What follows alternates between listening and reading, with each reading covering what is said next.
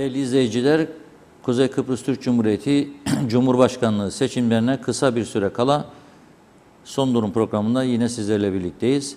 Bugün stüdyo konuğumuz Cumhurbaşkanı Sayın Doktor Derviş Eroğlu.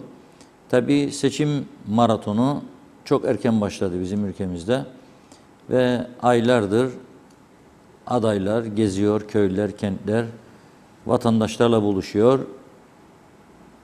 önümüzdeki dönemde yapabileceklerini anlatıyorlar.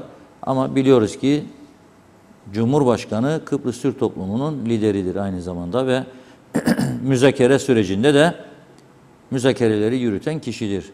Kıbrıs sorununun çözümüne ilişkin müzakere sürecinin de bizdeki seçimlerden sonra 19 Nisan'dan sonra yeniden başlayacağını biliyoruz. Birleşmiş Milletler Genel Sekreterinin Kıbrıs özel temsilcisi Ayde 2015 yılında önemli gelişmelerin olması gerektiğine parmak bastı ve bugüne kadar gelmiş geçmiş 24 tane temsilcinin kendisi dışında başarısız olduğunu belirterek ben sonuncu olurum herhalde dedi. Yani bu ne demekti? Ya benim dönemimde de çözülür ya da çözülmez. Kıbrıs meselesi yani bu seçimlerden sonra gerçekten çok ciddi bir pozisyon alacak. Bunu bu hareketlerden, bu açıklamalardan anlayabiliriz. Ama tabii ki Cumhurbaşkanı aynı zamanda toplum lideridir. Az önce de söylediğim gibi toplumun ülkenin sorunlarıyla da yakından ilgilenmek zorundadır. Hükümetlere zaman zaman bakanlar kuruluna başkanlık ederek görüş ve düşüncelerini e, ortaya koyabilir. Bu tür anayasal yetkileri vardır. E, ve önemli bir sorumluluk makamıdır Cumhurbaşkanı. Cumhurbaşkanı Sayın Derviş Eroğlu tabi uzun yıllar başbakanlık yaptıktan sonra bugünkü görevini teslim aldı. Cumhurbaşkanı görevini 19 Nisan seçimlerinde kazanması halinde ikinci dönem Cumhurbaşkanı yapmış olacak. Ama bu seçimler az önce de belirttiğim gibi ilk defa çok erken bir e, propaganda dönemi başladı. Köy gezileri, ziyaretler. Neden böyle oldu? Neden adaylar buna ihtiyaç hissetti? Bunlar da program akışı içerisinde Sayın Cumhurbaşkanı ile görüşeceğiz. Evet Sayın Cumhurbaşkanı hoş geldiniz. Hoş bulduk. Önce bu maratondan başlayalım. Siz de tabii e, kapıldım gidiyorum rüzgarına diye bir şarkı vardır. Bütün adaylar köy köy geziyor. Size bakarım siz de bütün köyleri hemen hemen geziyorsunuz. Evet. Tabii e, biraz önce siz de ifade ettiğiniz gibi e, seçim kampanyası e, ilk daha bu memlekette 8-9 ay önce başladı.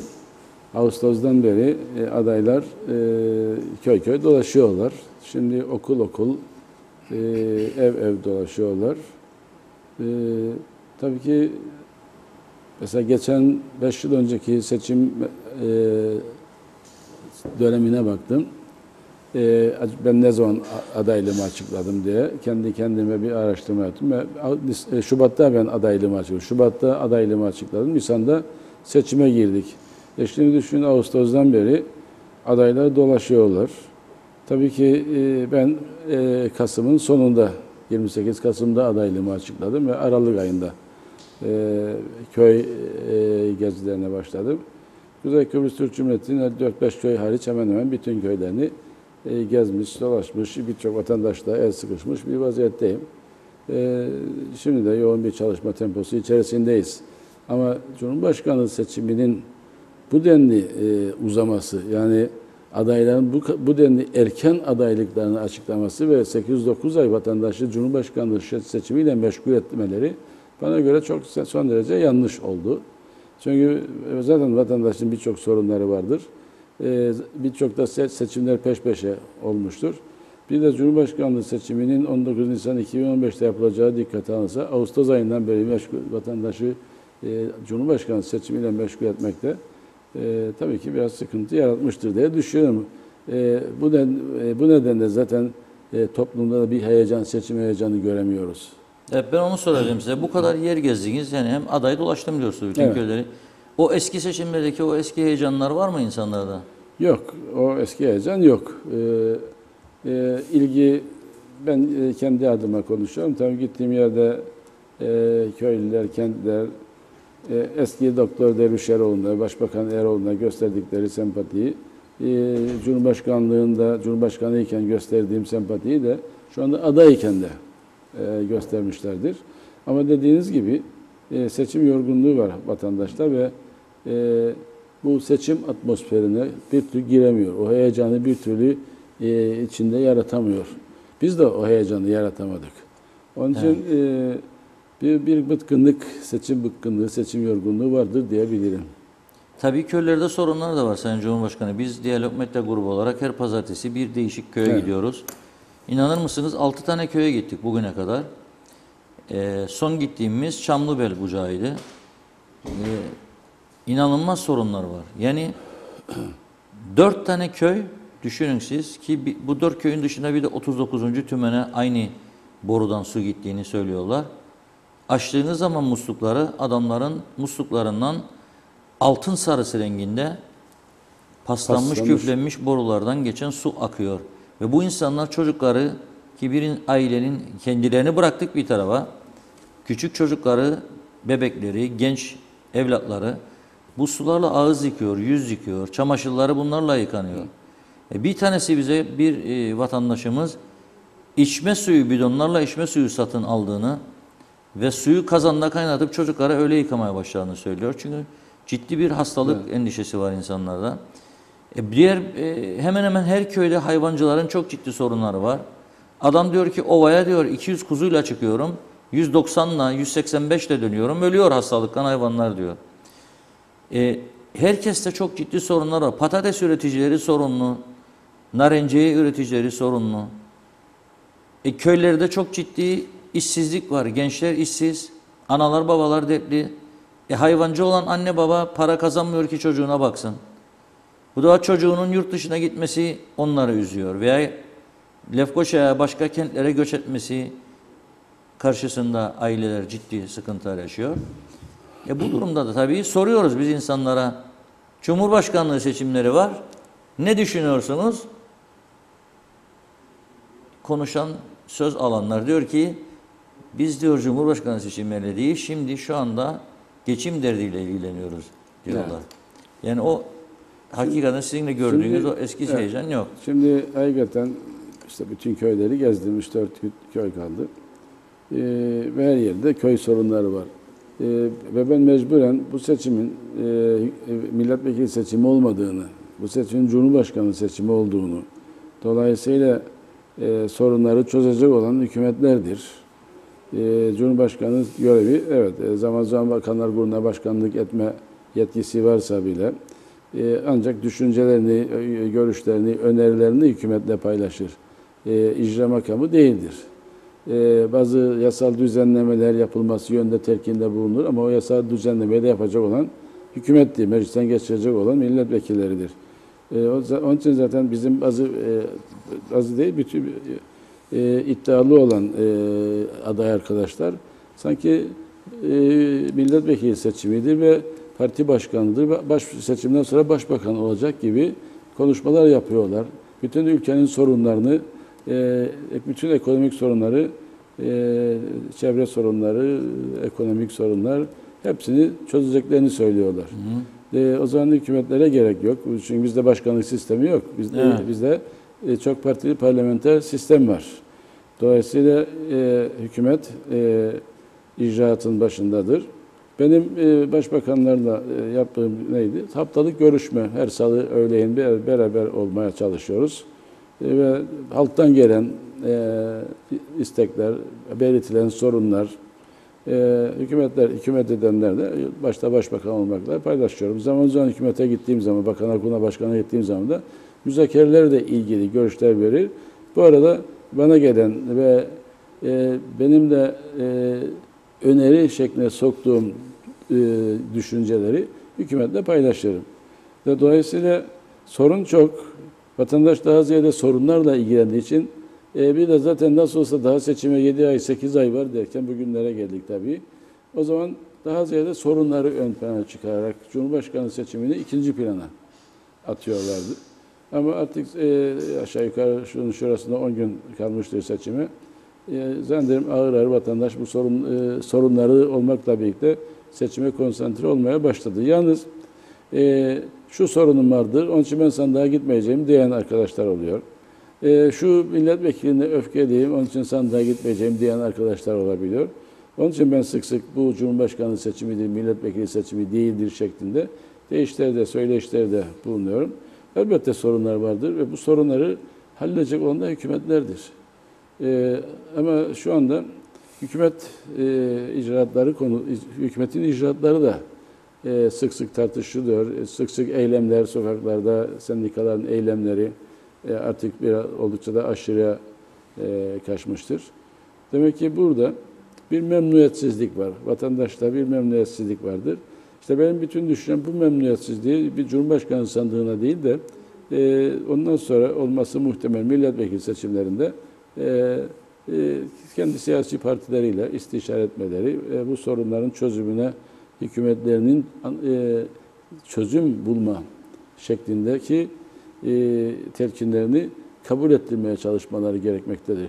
Zaten hükümetler e, sandıktan çıktıktan sonra hükümet programını hazırlıyorlar. Mühim olan hükümet programı hazırladıktan sonra programın uygulanması. Evet. Bugün eksik olan, sıkıntılı olan konulardan bir tanesi de hükümet programında, hükümet programında vaat edilen şeyin bugüne kadar gerçekleşememiş olmasıdır. Bu konuda da hükümetlere, hükümetleri zaman zaman uyarmak, Cumhurbaşkanı görevi, evet bu görevi de yapıyoruz ama neticede dediğim gibi karar merci e, şey hükümettir. Hükümette çok sorunun yani ülkede diyeyim daha doğrusu çok sorunun olması hükümetteki partilerin büyüğü zaten sizin dışınızda yani küçük parti sizi destekliyor ama büyük de başka Büyüğünü- bir aday evet. destekliyor. Onlar açısından bir dezavantaj mıdır hükümetin bugünkü pozisyonu? Hayır, e, onlar e, hükümetin ellerinde oluşunu, yani daha doğrusu hükümette e, hükümetin büyük ortağı olmasını büyük bir avantaj olarak görüyorlar. E, yoksa e, belki bu kadar e, hükümete tepki e, e, sonucunda e, hükümetten ayrılmayı bile düşünebilirlerdi. Fakat hükümetten ayrılmayı düşünmüyorlar. Çünkü hükümette olmak e, kendi adaylarının oy toplaması yönünden avantajlı. Mesela elektrik kurumuna 135 kişi durup dururken aldı. Elektrik kurumu oldukça sıkıntılı ve siz e, sıkıntılı e, e, Vakıflar Bankası başta olmak üzere birçok da borcu olan bir kuruşa ihtiyacı olmadan sen habere yüklüyorsun.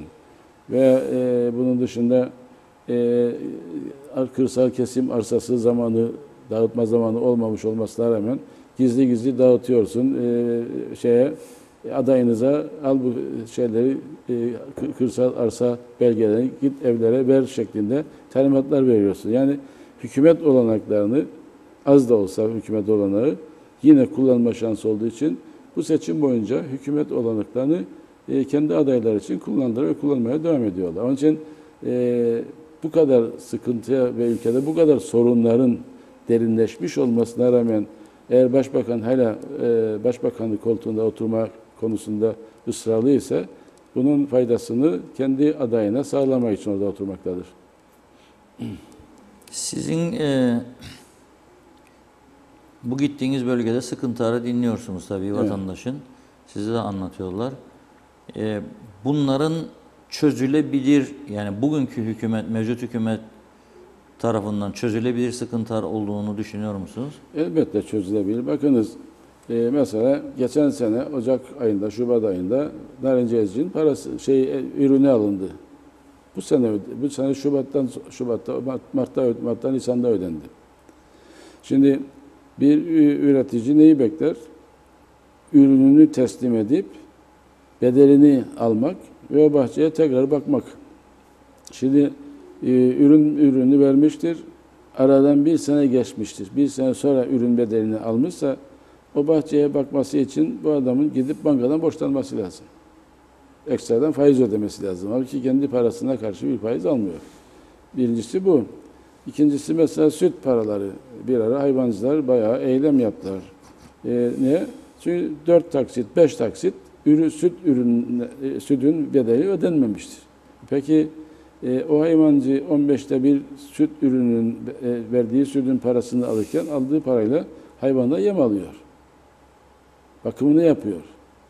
Dolayısıyla ne olur? Hem o hayvanın verimi düşüyor, üretici borçlanmak mecburiyetinde oluyor, onun e, faiz sıkıntısını çekiyor.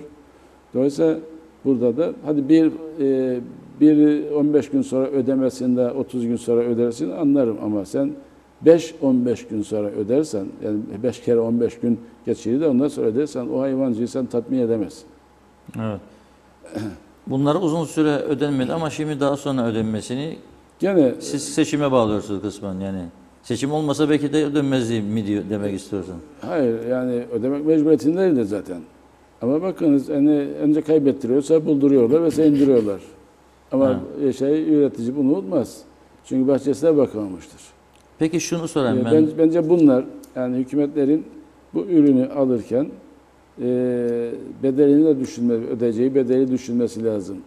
Eğer sen narinceye pazar bulamazsan ve hepsini sıkmaya gönderirsen sıkılmış, konsantre haline getirilmiş portakal uzun vadede satılır. Tabii. Ama narinceye, taze meyveye pazar bulursan meyveyi pazarlarsın, parası gelir, üretici ödersin. Şimdi Sibrex'in yaptığı daha ziyade sıkma konsantre. E bir konsantre, e, tonlarca konsantreyi sen bazen iki senede satamazsın. Bir sonraki ürünle karşılaştır, kar- kar- karıştırılır. Burada ödemede zorluk çekiyor. Ödeme de zorluk çekiyor. Onun için önce narinceye pazar bulmak lazım. Konsantre içerisinde pazarınız elinizde hazır olması lazım.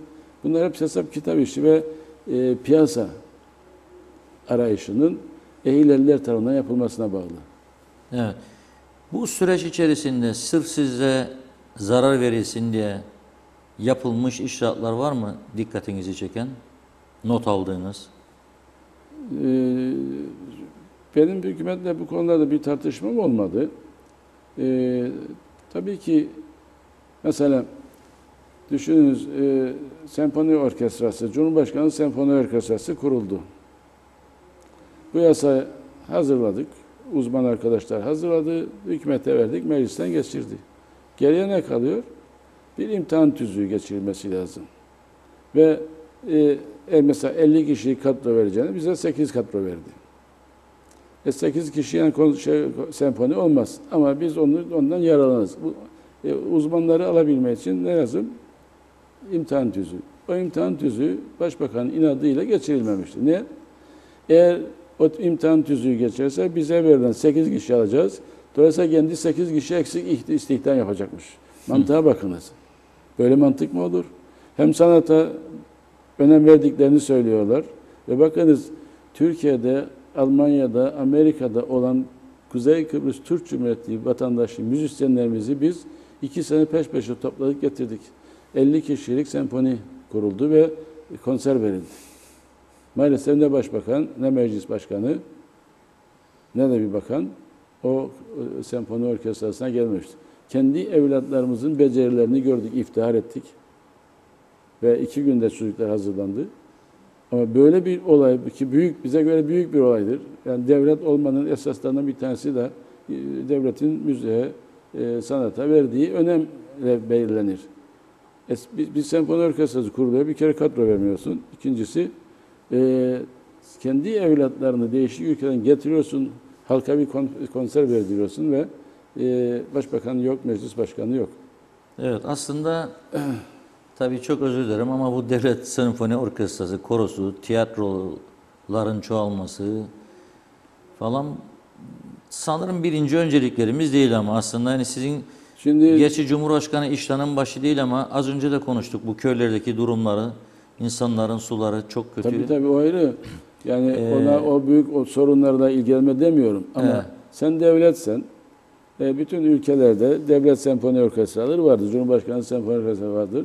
Ve Kültür Bakanlığı, geçmiş hükümette Kültür Bakanlığı bunu yapamayacağı için Cumhurbaşkanı'na devredilmiştir bu görev.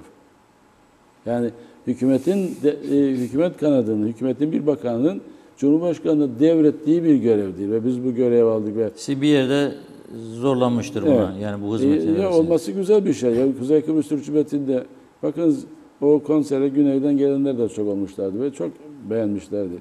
Ama bu sadece bu değil mesele.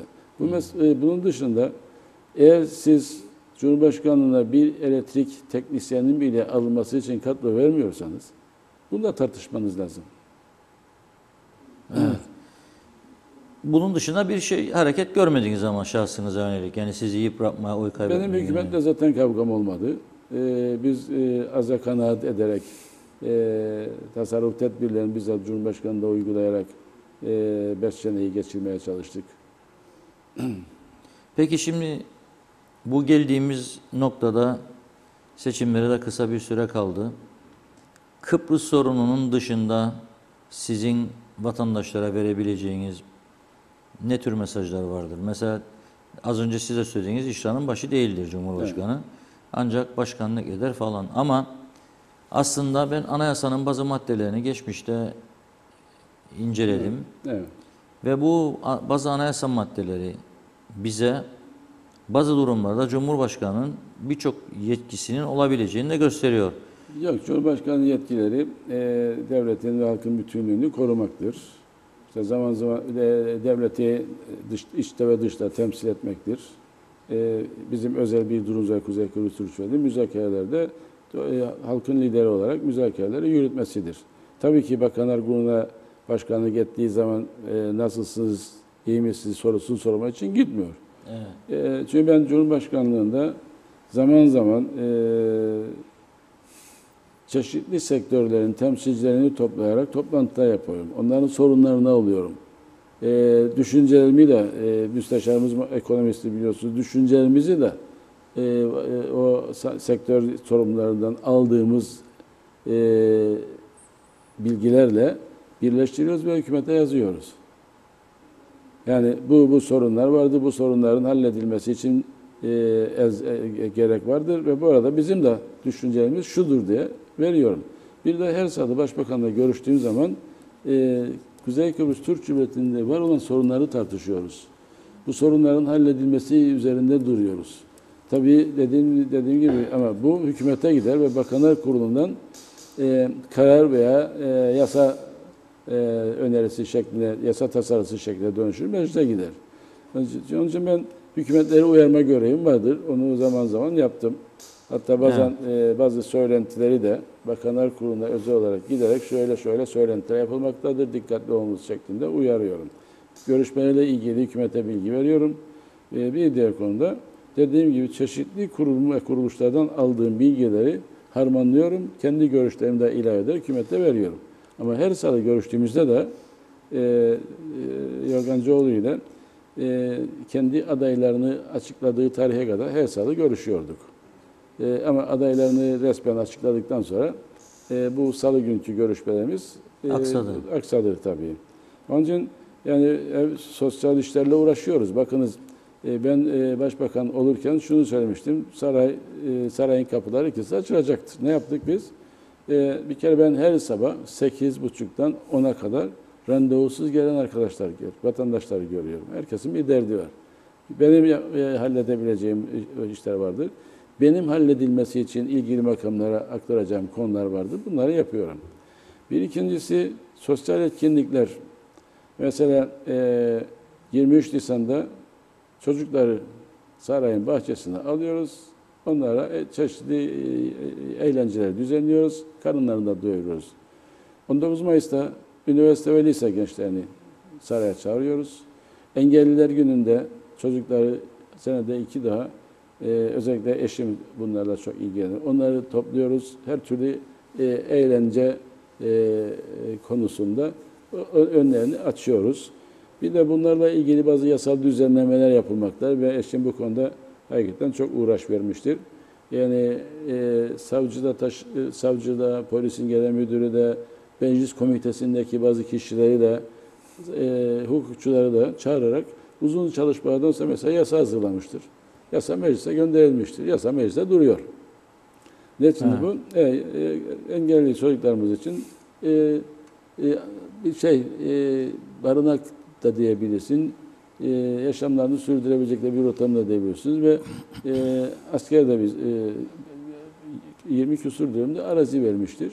Arazi hazır, yasa mecliste tasarı şeklinde mecliste meclisten geçmemiştir. Tabii ondan sonra kaynağını çeşitli etkinliklerde kayna, kaynağını sağlamaya çalışılmakta. Hatta Ankara'ya gidilmiştir. Başbakanın ve Cumhurbaşkanı e, eşleriyle ve e, Sosyal Etkinlikler Bakanı'yla da görüşerek birçok çalışma yapılmıştır.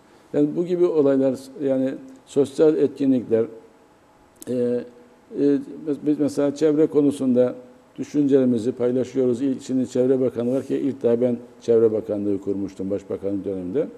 E, çevre ile ilgili görüşlerimizi e, Çevre Bakanı'nda görüşüyoruz. Halk nezdinde bazı çalışmalar yapılıyor, bazı konferanslar. E, mesela şeker hastalığıyla, diyabetle ilgili çalışmalarımız, kanser ile ilgili ülke genelinde çalışmalarımız olmuştur. Çok hep bu sosyal içerikli bütün çalışmaları Cumhurbaşkanı, Cumhurbaşkanı. bünyesinde yapılmıştır, yaptırılmıştır. Evet. Ama esas ana göreve gelelim Kıbrıs konusuna. Evet. Şimdi tam da bu dönemde seçimlerin yapılmasına kısa bir süre kala BM temsilcisi geldi Eyde ve sizinle görüştü. Rum tarafıyla görüştü. Ve müzakerelerin başlayabileceğini ilan etti. Ama bu arada Anastasiadis'in bir egemenlik evet. iddiaları vardı. Yani egemenliğimi Türkiye tanımazsa sadece Naftex'in geri çekilmesi ve Barbaros Hayrettin Paşa gemisinin geri çekilmesi yeterli değildir diyordu. Şimdi bu egemenlik iddiasından geri çekilmiş mi oluyor bu durumda? Yani Türkiye benim egemenliğimi tanıdığını ilan etsin diyordu. Şimdi e, bir kere Türkiye e, Güney Kıbrıs Rum yönetiminin egemenliği tanımaz. Aydın'ın açıklaması vardı. E, e, bugün e, münhasır ekonomik bölge egemenlik alanı değildir. Sismik araştırma da yapılabilir. Ancak kazı yapıldığı zaman bu tartışılabilir. Bugün açıklaması vardı yani e, basında. E, Türkiye Güney'in egemenliğini tanımamıştır. Biz e, Anastasiadis müzakere masasından kalk- çıktıktan sonra şunu söylemiştik. E, Sayın Anastasiadis müzakere masasından kaçtığı gibi müzakere masasına gelmelidir ve gelecektir ve ön koşulsuz gelmesi gerekmektedir. Çünkü koşullu koşula karşı sen koşul koyarsın. Yani o ön koşul koyarken ben ön koşul koymaya başlarsam bu e, iş müzakere masasından sonuç çıkmaz. Evet. Dolayısıyla ön koşulsuz gel, gel- bana göre ön, ön koşulsuz geliyor. Ve e, şunu söyleyeyim, e, bırakıldığı yerden başlamak üzere geliyor. Bırakıldığı yer neresidir? 17 Eylül e, 2014 yılında Aydın'ın başkanlığı yapmış olduğu toplantıda 3. safhaya geçmeye, yani pazarlıkların yapılacağı safhaya geçmeye karar verdik. O konuda basına da e, kararımızı paylaşmıştık. E, e, şimdi tekrar gel, geliyor ve bırakıldığı yerden müzakerelere başlamayı kabul ediyor. İkincisi 2015 yılının e, Kıbrıs sorununa bir formül bulunabileceği yıl olarak yani Aristoteles tarafından ilan edilmesi bizim bizim görüşlerimize sıcak baktığını göstermesi bakımından önemli. Çünkü ben ne dedim? Önümüzde iki yıl çok kritik iki yıl olacaktır. Önce biz bir iki yıl içerisinde Kıbrıs sorunu çözme için yoğun bir çaba göstereceğiz ve ucu açık değil zaman limiti içerisinde bu sorunu bitireceğiz. Evet. Ee, şimdi e, Ayden'in açıklamaları da bizim düşüncelerimize bana göre katkı koymaktadır. Bu Rum tarafının tavrını biliyorsunuz. Yani nasıl bir çözüm istediğini. Tabii biliyorum. Size göre yani bu Kıbrıs sorunu gerçekten bu bir iki yıl içinde bitebilir mi? Bu tavır devam ettiği sürece tabii ki demek istiyorum. Yani çünkü bakınız bu süre zarfında çok ilginç gelişmeler oldu. Bir defa Anastasiadis'in partisi, DİSİ'nin Evet. şimdiki başkanı EOKacılarla bir toplantı düzenledi. Bu ve iyi ki Rum basını yazıyor yani bazı şeyleri de biz de öğreniyoruz. Bu toplantıda büyük hedeften söz ediyor. Evet. DİSİ'nin lideri. Yani siz diyor, evet diyor, biliyorum size hak veriyorum. Büyük idealleriniz var, büyük hedefe ulaşmak istiyorsunuz ama hele bir diyor önce bu Türkiye'yi buradan çıkaralım. Ondan sonra diyor o büyük hedef daha kolay olur. Şimdi de Türkiye'de çıkaramazsak Türkiye'ye çok tehlikeli bir sınır komşumuz olur diyor. Bu intihar anlamına gelir diyor. Dolayısıyla yardımcı olun Anastasiadis'e. Engel çıkarmayın. Şimdi bitsin bu iş Türkiye'ye gitsin. Ondan sonra hallederiz. Sizin kesin duruşunuzu biliyoruz ama bu seçim atmosferinde bunu bıçak Ya- gibi keskin bir şekilde ortaya Ben- koymak istememiş olabilirsiniz ama ben sormak istiyorum. Türkiye'nin güvenliği, garantörlüğünü içermeyecek bir çözüme siz imza atar mısınız? Hayır. Türkiye'nin etkin ve fiili garantisi benim benim için olmazsa olmazdır. Kıbrıs Türk halkının da e, ben eminim ki e, çok büyük bir çoğunluğun olmazsa olmazıdır. Dolay- Türkiye istiyor mu bu garantörlüğün devamını size göre? bana göre istiyor ve vazgeçmez yani garantörlükten vazgeçmez. Ha Yunanistan genesi vazgeçiyorsa vazgeçsin. İngiltere vazgeçecekse vazgeçsin o ayrı konu. Ama Türkiye e, etkin ve fiili garantörlüğünden vazgeçmez. Bu bunu en, e, en üst makamlarla görüşen bir kişi olarak gayet net olarak biliyorum ve benim için de bu olmazsa olmazdır. E, şimdi bazı arkadaşlar hep çözüm diyor. Baş- Barış diyorlar, çözüm diyorlar ama nasıl bir çözüm? Gittikleri yerde ben de sık sık e, arkadaşları tenkit ederken söylüyorum. İki bölgeli, iki toplumlu, siyasal eşitliğe dayalı federal bir cumhuriyet. Hatta bizim e, Anastasiadis'le yapmış olduğu ortak açıklama metninde olan e, iki bölgeli, iki toplumlu federal cumhuriyet ama iki e, eşit İsto'da iki kurucu devlet tarafından kurulacaktır. Sözlerini bile söylemeye çekiniyorlar. Anastasiadis'in e, son zamanlarda e, Ulusal Konseyi'ni toplayıp da almış olduğu karar e, Federal Cumhuriyeti Kıbrıs Cumhuriyeti evrim yoluyla gerçekleştirecektir. Sözlerine böyle tenkit yapmadılar. Evet. Halbuki ortak açıklama metninde benim söylediğim yazıldığı halde adam diyor ki ben e, iki, e, Türk, Türk e, Kıbrıs Türk Kıbrıs Cumhuriyeti olarak evrim yoluyla Kıbrıs e, Federal Kıbrıs Türk Cumhuriyeti Federal Kıbrıs Cumhuriyeti oluşturacağım diyor ve ne e, diğer partilerden ses çıkıyor ne bazı yayın organlarından ses çıkıyor. Çünkü bu doğrudan doğruya üç gün önce attığı imzayı inkar etmek demektir. Yani şimdi üç gün önce attığı imzayı inkar eden bir adamla nasıl anlaşmaya varacağız? Şimdi e, ben e, bir iki yıl içerisinde an- ay- ayda 2015 yılı hedef göster, sonunu hedef göstermiştim. Dedim, burada bütün başlıklar görüşülmüştü. Ma- Masada altı başlık vardır. Evet. Ben o başlıklar içerisinde ne istediğimi biliyorum. Rum da ne istediğini biliyor. Bunu tartışacağız. Bir noktaya gelebilir miyiz? Ama bu e, 1968'de başlayan görüşmeler gibi ucu açık olacak bir anlayış içerisinde olamaz. Dolayısıyla bir zaman limiti içerisinde biz bu sorunu çözmeye çalışacağız. Mümkünse çözeceğiz. Mümkün değilse o zaman Kendi yolumuza bakacağız. kendi, kendi yolumuza bakarken benim düşüncem o zaman halka soracağız. Gelin bir referandum yapalım. Rum'u 40 sene daha masada e, görmek ister ya da Rum'un bizi daha 40 sene masada tutmasını ister misiniz gibilerden bir referanduma soracak. Çünkü artık e, farkındaysanız dünyada başta Avrupa Birliği olmak üzere bu Kıbrıs sorununun müzakerelerinden usanmıştır. Halkımız da Evet. usanmıştır. Geçenlerde Avrupa Birliği'nden çıkan bir ses vardır. E, artık içimizde e, bölünmüş bir ülke görmek istemiyoruz. Bu ne demektir? Rumlar e, yani Avrupa Birliği şu veya bu nedenle sorun çözümlenmeden Kıbrıs Kıbrıs'ı Güney Kıbrıs'ı e, Avrupa Birliği'ne almasından mem- memnun değil, pişmandır. Pişmanlık duymaktadır. Aslında anlam planı sonrası bir hata yapıldı bana göre. Anlam planı Rumlar tarafından reddedilmiştir. %76 oy oranıyla. Biz Rumların hayrından hiçbir fayda göremedik. Ne yapmak gerekir, gerekirdi? Hemen müzakereye oturma yerine dünyaya bakınız işte genel sekreterin e, İngiltere'nin Amerika'da Yunanistan'da parmağı olduğu bir anlaşma metnini Rum tarafı reddetmiştir.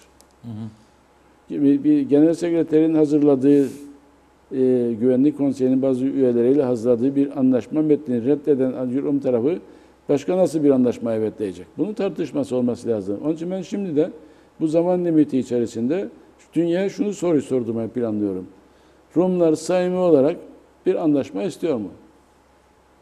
Evet. Ama bu kısa sürede belli olacak. Siz şimdi masaya oturduktan bir süre sonra herhalde alver sürecine geçeceksiniz.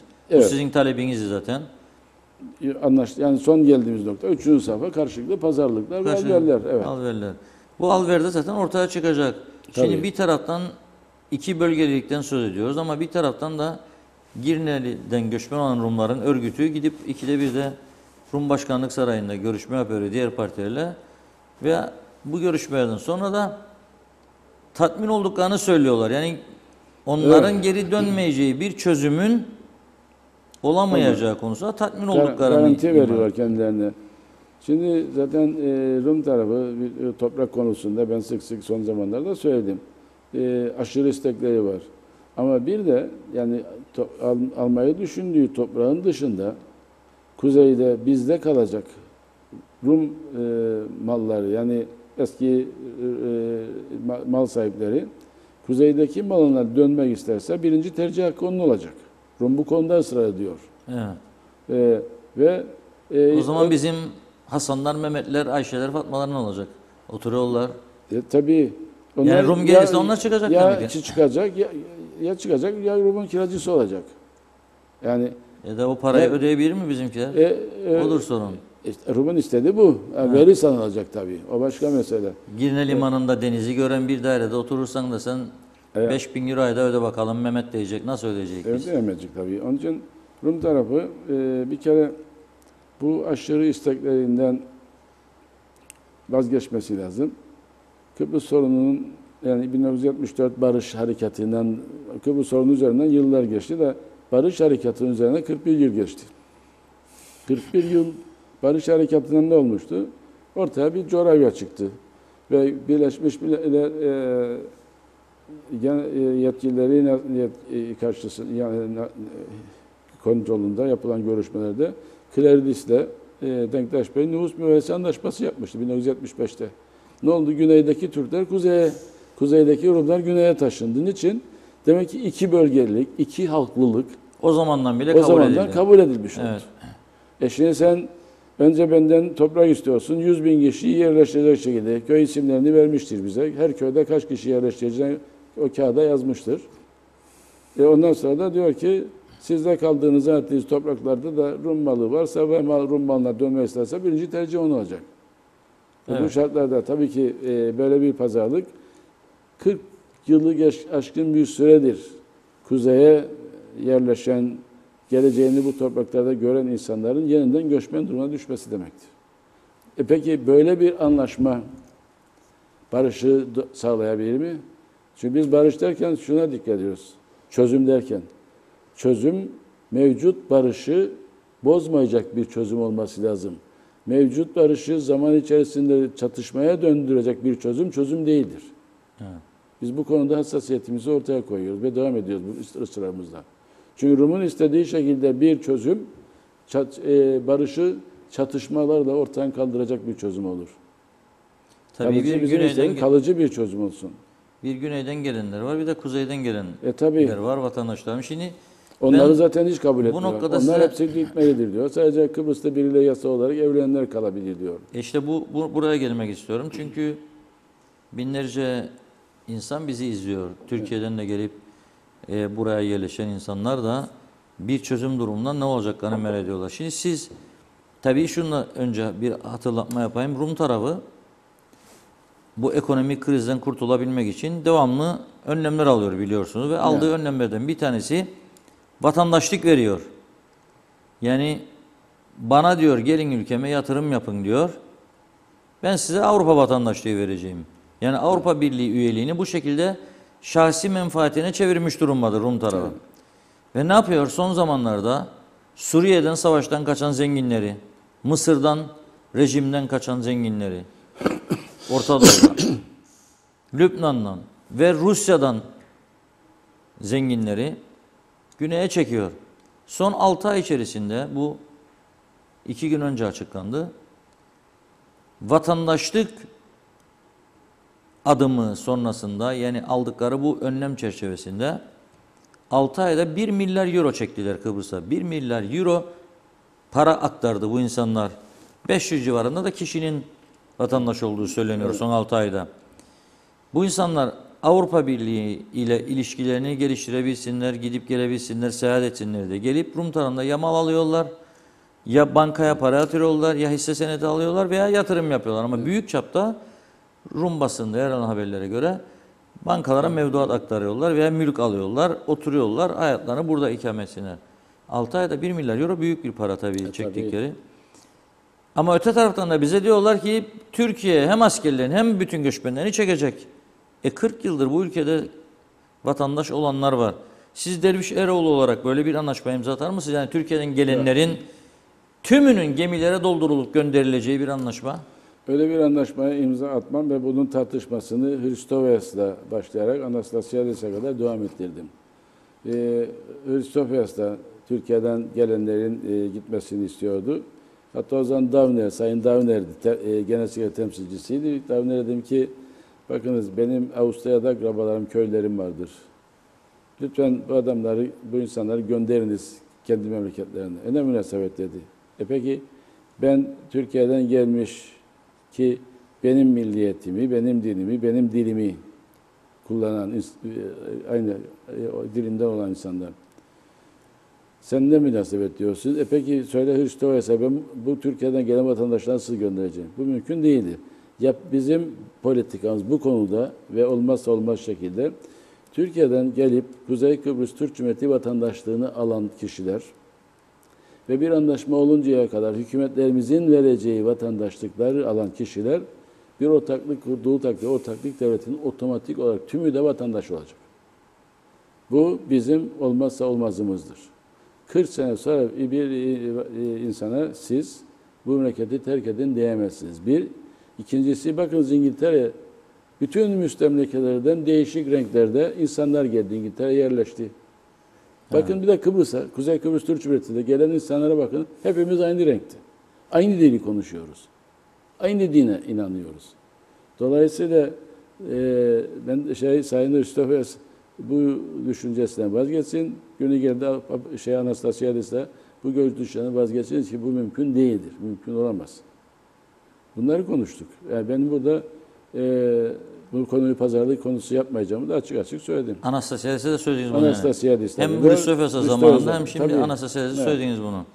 Evet bu konuda o zaman tavrınız açık ve nettir. Açık, Çünkü nettir. seçimler var diye bazı de, der ki seçim e, e, bu e, seçimler yani seçimler vardır diye ben bu düşüncemi gizleyeceğim.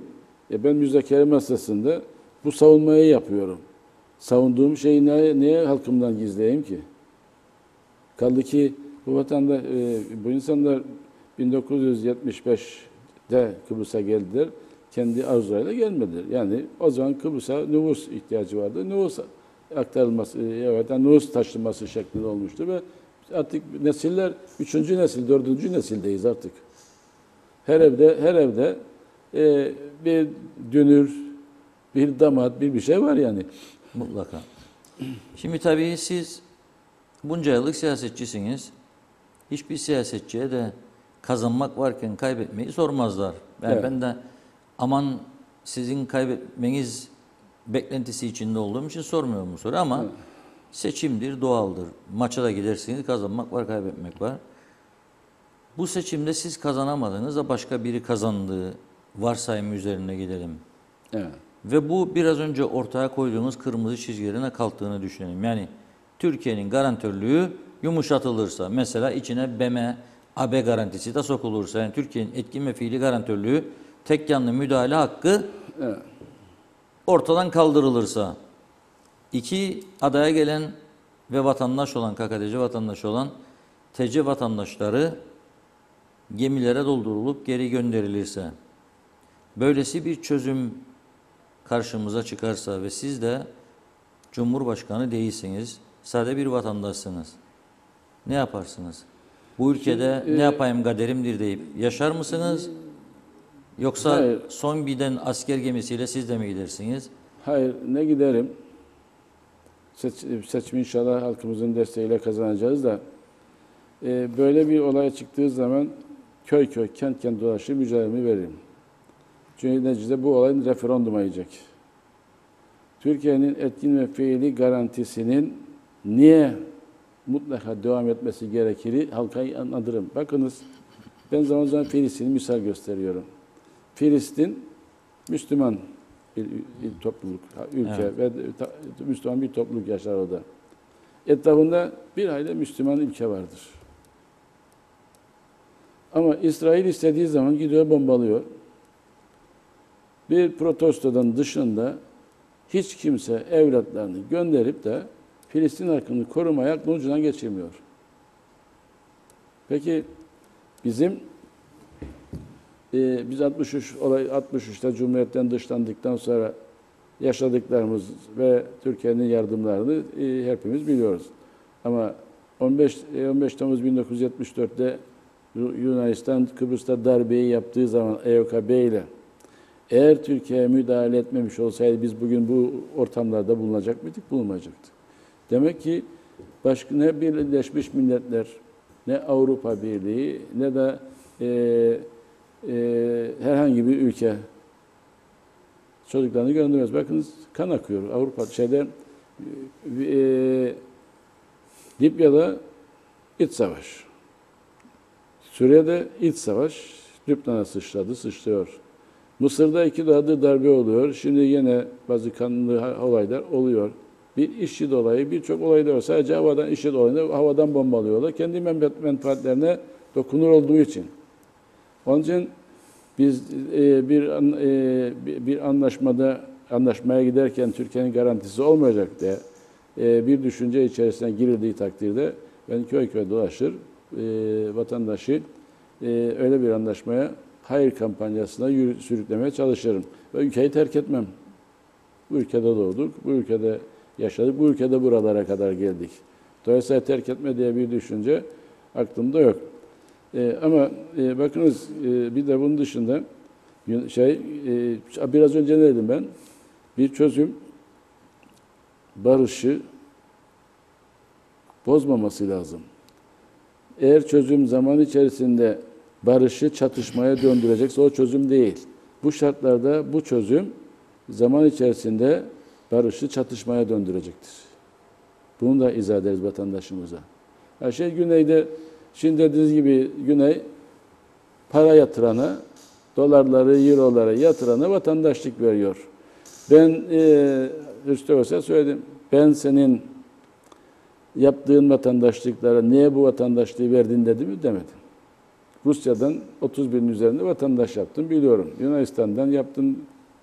Bir, daha bir Rusya'dan gelen Pontus, Montus diyerek hepsini yaptın. Ben sana niye yapıyorsun dedim. Hayır demedim. O zaman senin de benim verdiğim vatandaşlıklara müdahale etme hakkın yoktur. Niye vatandaş yapıyorsun sorusunu sorma hakkın yoktur. Bu şeyle ilgili, garantilerle ilgili bir şey anlatmak istiyorum. Evet. Ama kaldı ki bu vatandaşlıklar konusunda unutmayın lütfen sözünüzü. Yıllardır yapılmayanlar da var. Bizim Adem Konya'dan geldi. 20 yıldır buradadır. Evet, Vatandaş biraz- olamadı. Bunun biraz gibi çok insan var. tanıştık, Evet. Şimdi bir vatandaşlık yasası yapılıyor. O yasayla bazı haklar verecek herhalde. Bilemem. Onu hele bir uygulamaya başlasınlar bir görelim. Ona da yorum yapacağız tabii de. Şimdi bu garan niye garanti? Ee, e, niye bu kadar ateş etrafımız ateş çemberiyken hiçbir e, ülke müdahale etmiyor? Bakınız ben e, bin- 1974 Mutlu Barış Harekatı'nda Seferi Hastane'de doktordum. Yani e, Mausa'da bütün yaralılar, şehitler hepsi bizim elimizden geçmişti. O, acı, o acıyı ailelerle beraber biz paylaştık hep.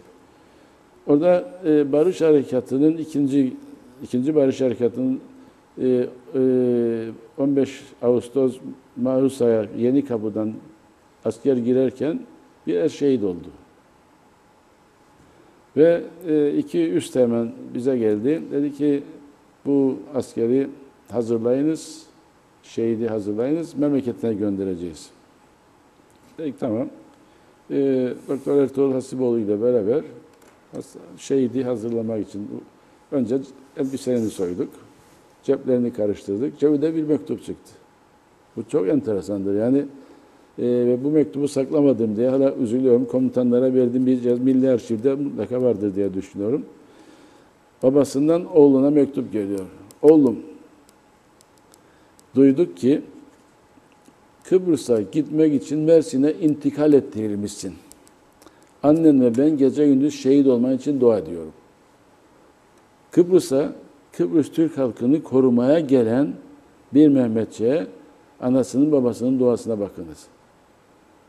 Başka bir başka bir ülke sana garantör olsa da hiçbir anne baba kendi oğlunun gelip de senin için canlı tehlike atmasını istemez. Orası Beklemez. öyle. Kendi İşte barış- vatandaşları bile sırasında buna yani barış, güç- zaten barış gücünü gördük.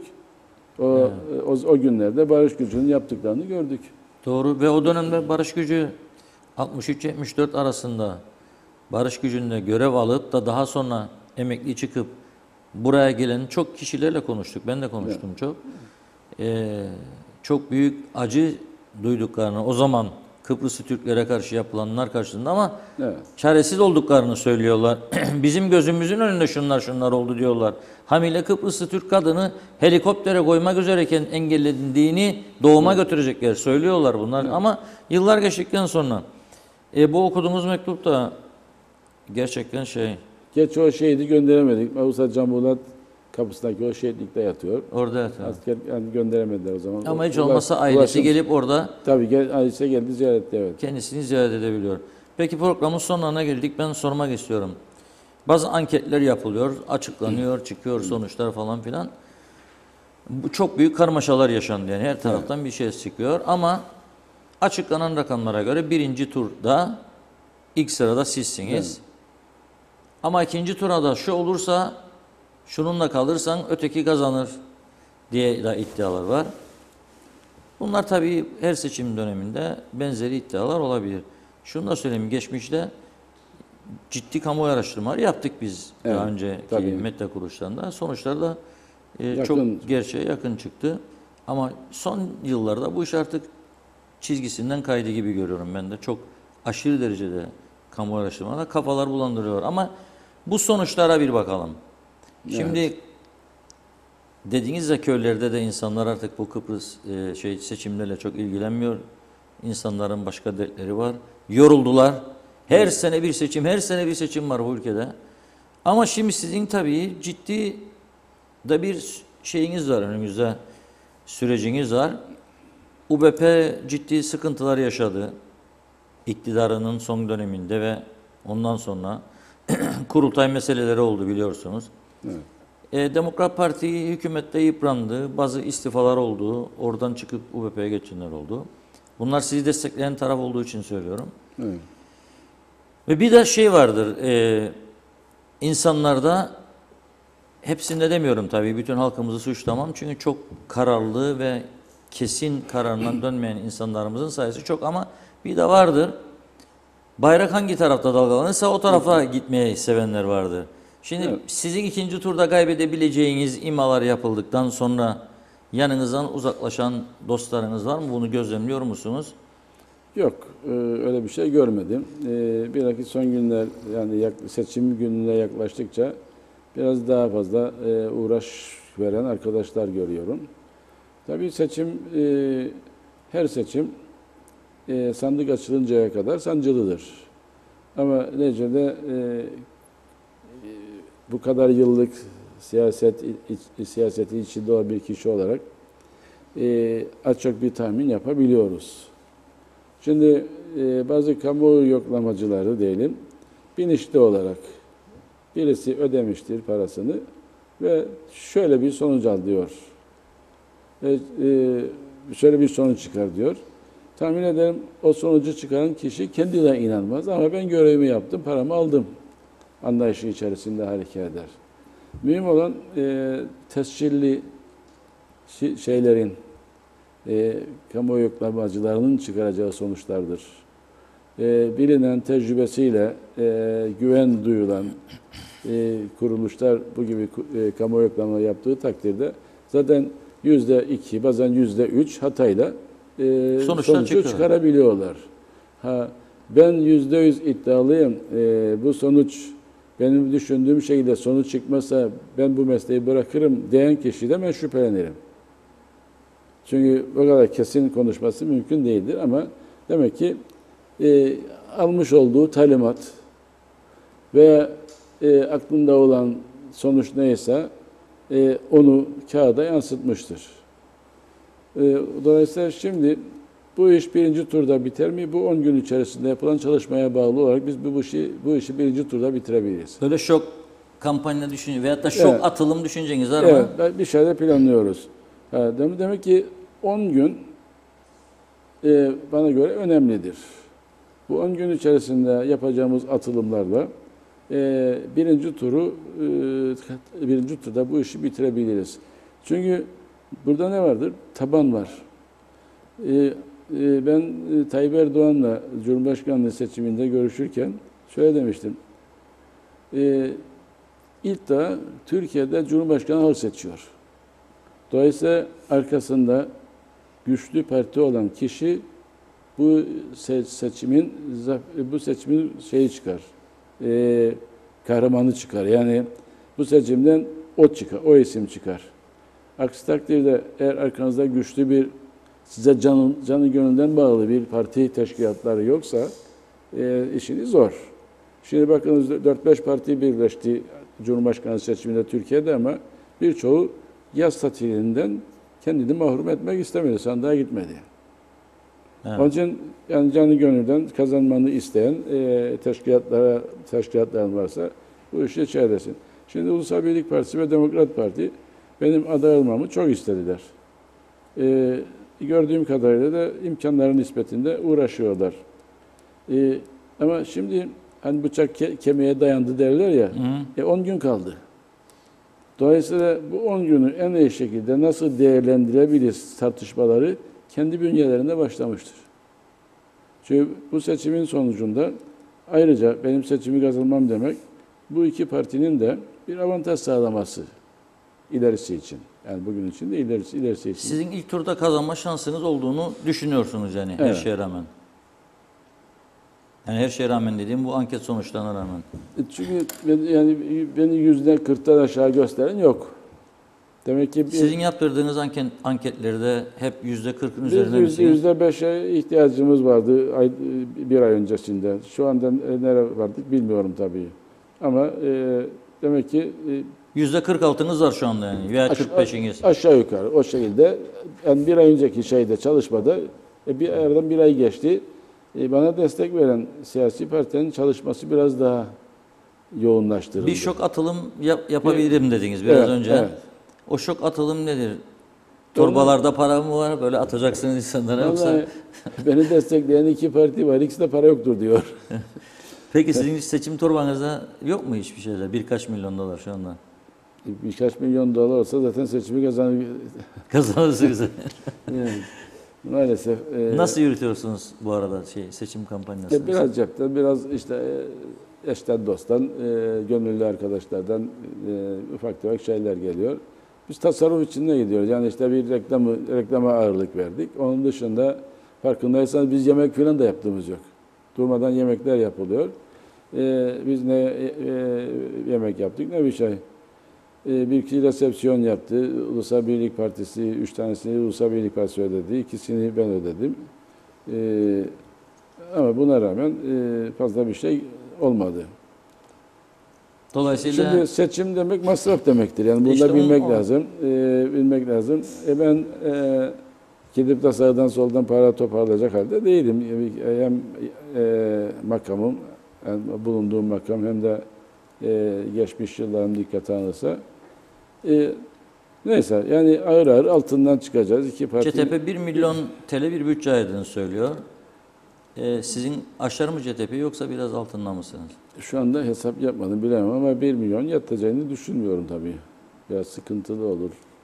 1 milyon TL yetmez diye. Yetmeyebilir çünkü bilmem reklamlara ne kadar e, e, harcadılar. CTP'ye yeterli olacağını düşünür müsünüz 1 milyonun? Yatmayacak. Onlar daha cömert davranırlar. Tabii hükümet olanaklarını da kullanırlar ama e, neticede onlar kendi adaylar için çok daha cömert davranıyorlar. Benim arkamda fazla cömert davranan parti yok. Parti var da maddi yönden e, fazla cömert davranan e, partiler pozisyonda değiller. Onların da sorunları olduğu söyleniyor. Ama neticede bu dereyi geçecek tabii. Peki son bir soru sorayım size ve daha fazla vaktinizi alıkoymayayım. Seçim gezileriniz vardır, köylere gidiyorsunuz. Bu birinci turdan sonra rakibinizin ilk turdan sonra iki soldan biri olacağı anlaşılıyor. Evet. Ya Doktor Sibel Siber ya Mustafa Akıncı'nın ismi geçiyor son zamanlarda. İkisinden biri. Hangisini tercih edersiniz? Burada benim tercih hakkım yok ki sandıktan kim Yani çıkarsa. siz e ama Ya bu konuda yorum yapamam. Hepimizin bir duası var gece yatırken Ee, bir dua. Allah'ım benim karşıma Sibel Hanım'ı çıkar yahut da Mustafa'yı çıkar. Hangisini? Öyle bir duam olmadı. Ee, şimdi iki ihtimal var zaten. Hangisi çıkarsa çıksın. Ee, bir haftada onunla yarışacağız ayrıca. Zaten işte farkındaysanız ben e, adaylarla yarışır gibi hareket etmiyorum. Kendi düşüncelerimi halkımla paylaşarak hareket ediyorum. Yani ben e, ne Akın, Çakıcı, ne Akıncı, Çakıcı hep aklımızda dost olarak. Ne Akıncı'yı e, tenkit ediyorum, ne Kudret'i, ne Sibel'i ara sıra, Sibel Hanım'ı ara sıra. E, çünkü ikide bir de benim ismimi kullanıyor. Efendim diyor, e, 20, 25 sene, 20 sene, 25 sene başbakanlık yapmak bir şey değil diyor. Mühim olan ne yaptın, ne bıraktın? E şimdi tabii ki politikaya 5 sene önce girdiği için Sibel Hanım, memleketten ne olduğunun farkında değil. E şimdi bizim e, iktidarlarımız döneminde uzun yıllar başbakan, hükümet başkanı yapmış bir dervişler olarak bu memlekette neler yapıldıysa benim imzam var altında. Şimdi bunları görmeyecek kadar e, kör değil, bilmeyecek kadar cahil değil. Ama demek ki e, bugüne kadar siyasetle hiç ilgilenmemiş, ülke sorunlarıyla hiç ilgilenmemiş, sadece kliniğiyle sorunla ilgilenmiş. Bakınız ben e, ufak bir tenkit olarak söyleyeyim. E, işte 70 gün başbakanlık yapmış da ben işte e, e, 20 senede ne yaptığımı sö- söylemem önemli değilmiş bilen. Yani işte döndü 5 sene bu Cumhurbaşkanı. 5 sene Cumhurbaşkanı'nda ben ne yaptım? Kitapçıklarında dağıttık zaten. 5 sene içerisinde Talat Bey'in yaptığını 2-3 misli yaptım ben. Ama bunları görmeyecek kadar da siyasetle ilgisiz. Çünkü ben doktorum. Esas mesleğim doktorluk. Sibel Hanım da doktor. Ve ben e, Cumhurbaşkanı'na geçinceye kadar bir müddet mecliste bir, e, Ulusal Birlik Partisi'nin e, genel başkanı, başbakan olarak görev yoktu. Ben bu hanımefendinin elini sıkma fırsatı bulmadım. Niye? Çünkü sabah gelirdi, nisap sağlanırken ismi okunur, evet buradadır derdi ve giderdi kliniğine. Değil, e, o, o vakitte yani ve, e, sonra açtığım meclis komisyonlarına bile girmemiş hiç. Dolayısıyla düşünün mesela polisin terfilerini Amme Hizmeti Komisyonu'nun yaptığını bir sö- söyleyecek kadar e, kamu düzeninden de uzak bir arkadaşımız. Halbuki komisyon terfi, polisin terfilerini polis komisyonu vardı. O komisyon yapar. Ama bundan da bundan da uzak. Demek ki işte hasbelkader böyle oldu. Tabii ki benim için gü- güçlü bir rakip. Yani Akıncı da rakibimdir, e, Kudret de rakibimdir, e, diğer e, Mustafa da rakibi, diğer Mustafa da rakibim. Hepsi rakibimdir. Ben bunları rakip olarak görüyorum. Küçümsemiyorum ama hiç olmazsa bir şey söylerken yani 20 sene başbakanlık yapmış bir kişinin bu ülkeye neler yaptığını görür ve hiç olmazsa 20 yılda ne yaptı ki bize söyleyecek kibirden. E, ya sen 70 gün başbakanlık yaptın, ben 7000 gün başbakanlık yaptım. sen 70 gün başbakanlık yaparken seçim yasakları içerisinde yaptın. Dolayısıyla sana kimse gelip de şu işimi yap demedi. Onun için yani bazen mesela sık sık değişim kelimesi kullanıyor. Şimdi e, ben değişim deyince zaten değişme bir tek şey vardır değişim. Bunu hep söylerler. Ama ben değişimden bahsedeceksem ben diyorum bir anayasa değişikliği yapılacaksa ben yardımcı olmaya hazırım. Tek e, başkanlık sistemi tartışılacaksa ben yardımcı olmaya, görüşlerimi siz- e, şeyle parlamento ile paylaşmaya hazırım. Değişim deyince vatandaşın bu kadar sorunu varken hükümet değişimi akla geliyor. E, hükümetin büyük ortanın adayı. Yani bir söz söylediğin zaman onun nereye varabileceğini bilmem lazım. Mesela ben değişim dersem ben parlament çok partili parlamenter sistemden memnun değilim. Başkanlık sistemi istiyorum demem lazım. Evet. E şimdi sen değişim diyorsun ama neyi değiştireceğini söylemiyorsun. Sistem diyorsun hangi sistemden bahseden? Zaten Evet. sistem değişmedi. Yani te- başkanlık sistemine dönemedik maalesef. E, Yapılmaz. Çünkü bu konuda e, zaman zaman tartışma konusu yapan arkadaşlar bu konuda samimi değil. Yani Evet. sayımı olarak başkanlık sistemine geçelim, geçirelim diyen bazı arkadaşlar vardır. Sayımı olanlar var, eminim. Ama sayımı olmasına rağmen gücü yoktur. Ama bu işe partiler karar verecek. Partilerde de buna karar verilemiyor. Veya tek bölge seçim sistemi zaman zaman tartışılır, ona karar verilemiyor. Demek ki değişim derken vatandaşın önüne şu şu şu konularda değişime gideceğiz. Değişim olması için uğraşacağım, çalışacağım demen lazım. Evet. Sayın Cumhurbaşkanı çok teşekkür ediyoruz. Seçime az süre kaldı. Sizin daha yoğun olacağınızı biliyoruz ama bu şok atılımlarda bekleyeceğiz bu süre içerisinde. Sizin ortaya koyacağınız şok gelişmelere göre bizler de sizi rahatsız etmeye devam edeceğiz. Belki bu stüdyoda, belki gittiğiniz köylerde önünüzü kesip konuşmaya devam edeceğiz ama ikinci turda olacak. Büyük bir ihtimalle. Evet. Siz birinci turda geçmeyi düşünüyorsunuz. Size başarılar diliyoruz. Ama birinci tur olmazsa ikinci turda yine görüşeceğiz burada. Tabii. Ee, aynı e, mekanda. Çok teşekkür ediyoruz katıldığınız için. Sizlere başarı diliyoruz. Hayırlı uğurlu olsun. Çok çok teşekkür ederim. Ben de size hayırlı yayınlar diliyorum. Teşekkürler. Evet değerli izleyiciler, Cumhurbaşkanı Sayın Doktor Deriş Eroğlu son durumun konu oldu. 19 Nisan seçimlerine kısa bir süre kala kendisiyle sohbet ettik. Sayın Deriş Eroğlu'nun ortaya koyduğu çok önemli sözler var. Altını çizeyim. Bu da son durum programının farkı olsun. Çünkü birçok programı izliyorum. Bazı programlarda vatandaşlar diyor ki aynı şeyleri duymaktan yorulduk. Bu program öncesinde de birçok vatandaş aradı. Yeni ne duyacağız diye. Yeni birçok şey duymuş olduk sanıyorum. Bir daha Sayın Eroğlu diyor ki ben Türkiye'nin garantörlüğünü ortadan kaldıracak ve burada vatandaş olan Türkiye Cumhuriyeti kökenli insanlarımızı geri gönderecek bir çözüme asla imza atmam diyor. Eğer kazanacağım diyor seçimi ama kaybettiğimi düşünelim. Böyle bir anlaşma önümüze çıkacaksa köy köy gezeceğim, kapı kapı çalıp referandumda hayır oyu çıkması için uğraşacağım diyor Sayın Dervişleroğlu. Ve ülkemi de asla terk etmem, burada doğdum, burada öleceğim diyor.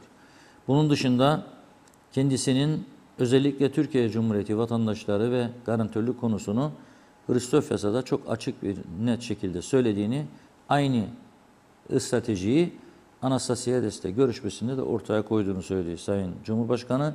Eğer önümüzdeki süreçte Rumlarla bir anlaşma oldu, oldu, olmazsa o zaman halkımıza gideceğiz ve halkımıza soracağız. Bir 30, 40 yıl, 50 yıl daha müzakere masasında zaman mı tüketelim yoksa başka bir seçenek üzerinde mi artık karar verelim? Tabii günü geldiğinde referandum döneminde herhalde bu seçenekleri de Sayın Cumhurbaşkanı ortaya koyacak. Ne tür bir seçenek önerecek halka? Onu da öğreneceğiz. Köy köy dolaşıyorum diyor Sayın Cumhurbaşkanı. Ziyaret etmediğim 3-4 köy kaldı diyor. Herhalde o 3-4 köyü de seçim süresince ziyaret eder. Ama bazı köyler vardır. Çok dikkatli olmasını tavsiye ederim. Yollar geçilmezdir, çukurdur, çok tehlikelidir. Biz bu köy gezilerinde bunlara tanık oluyoruz. Çok dikkatli olmakta yarar vardır. Ulusal Birlik Partisi Demokrat Parti Sayın Cumhurbaşkanı destekliyor. Tabanda hareketlenmelerin arttığını görüyorum ve bu hareketlilik gelişir, yayılırsa ilk turda da bitirebiliriz. Eksildiğimiz miktar 5-6 yüzde 5-6 civarındadır diyor Sayın Cumhurbaşkanı. Yaptırmış, yaptırmış oldukları son kamu araştırmasına yüzde 45'lerde gibi bir oran gördüklerini söylüyor. Dolayısıyla ilk turda da bitebilir diyor ama ikinci turda olursa yine kazanacağını söylüyor Sayın Cumhurbaşkanı. Bu anlattıklarının dışında biraz da iç politikadan söz edelim. Ben diyor bu kadar yıl başbakanlık yaptım. Sibel Hanım'dan çok daha fazla. O 70 gün yaptıysa ben 7 bin gün yaptım diyor Sayın Cumhurbaşkanı. Çok daha fazla deneyimim var bu konularda. Bazı konularda Sibel Hanım'ın bilgisi ve deneyimleri yetersiz olduğu anlamına gelen bir takım görüşler ortaya koydu. Ee, tabii ki bu seçimde partilerin desteği, vatandaşların desteği çok önemlidir. Son zamanlarda kamuoyu yoklamalarına bakarak taraf değiştiren, kendi tarafından başka tarafa gidenler oldu mu diye sordum Sayın Cumhurbaşkanı'na. Ee, böyle bir gelişmenin olmadığını tam tersi daha fazla ilgi görmekte olduğunu söyledi. Tabii herkesin merak ettiği seçim harcamaları var. Sayın Cumhurbaşkanı'na bu konuda sordum. Birkaç torba dolar var mı? Birkaç milyon dolar. Olsa zaten seçimi şimdiden kazanırdım dedi Sayın Cumhurbaşkanı. Ama yine de önemli bir harcama gerektirdiğini bu seçimlerin söyledi. 1 milyon Türk lirasının da yeterli olmayacağını belirtti. Cumhuriyetçi Türk Partisi de bu seçimler için Sayın Sibel Siber'in e, adaylığı sonrasında 1 milyon Türk liralık bir bütçe hazırladığını söylemişti. Ama bu bütçe tabii şartlara göre değişebilir, artabilir, azala, azalacağını tahmin etmiyoruz biz de ama artma olasılığı da vardır. Dolayısıyla Sayın Cumhurbaşkanı buradan uğurluyoruz. Yeni bir son durum programında sizlere gör, sizlerle görüşünceye dek veda ediyoruz. Hoşçakalın.